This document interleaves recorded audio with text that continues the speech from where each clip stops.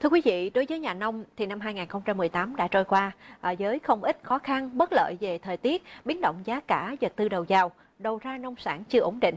À, do đó, qua năm mới 2019 với những người quanh năm chân lắm tay bùn thì ngoài ước mong mưa thuận gió hòa, còn là ước mong tăng năng suất và chất lượng sản phẩm được nhà nước hỗ trợ để bảo đảm đầu ra. Nhân ngày làm việc đầu năm mới, mời quý vị cùng chúng tôi lắng nghe những chia sẻ, ước muốn của bà con nông dân trong tỉnh. Năm 2018, ngành nông nghiệp tỉnh Bà Rịa Vũng Tàu đối mặt với nhiều khó khăn do giá cả vật tư nông nghiệp tăng cao. Trong khi đó, thời tiết diễn biến bất thường đã ảnh hưởng đến năng suất, chất lượng sản phẩm.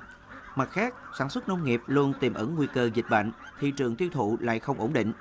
Theo thống kê của Sở Nông nghiệp và Phát triển Nông thôn, năm 2018, sản lượng các loại cây trồng chính như lúa, rau tăng từ 3 đến 5% so với cùng kỳ năm ngoái. Các loại cây công nghiệp dài ngày như cao su, cà phê, tiêu, cây ăn quả sản lượng tăng từ 6 đến 20%. Mặc dù sản lượng tăng cao, nhưng đầu ra của nông sản vẫn còn bấp bênh, khiến thu nhập nông dân không ổn định. Bước sang năm mới 2019, nông dân kỳ vọng mưa thuận gió hòa, giá cả nông sản ổn định để mọi người có cuộc sống ấm no hạnh phúc hơn.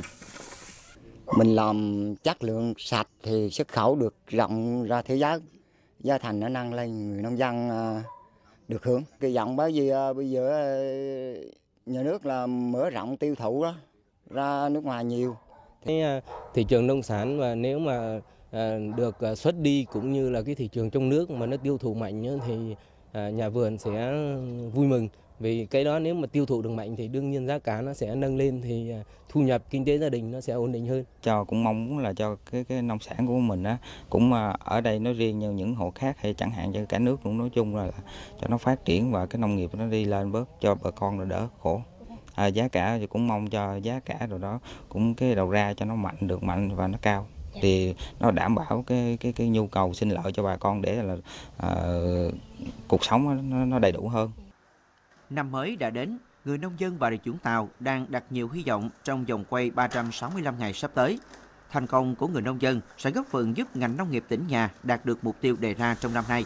Đó là giá trị sản xuất nông lâm ngư nghiệp đạt trên 19.400 tỷ đồng, tăng 4% so với năm 2018.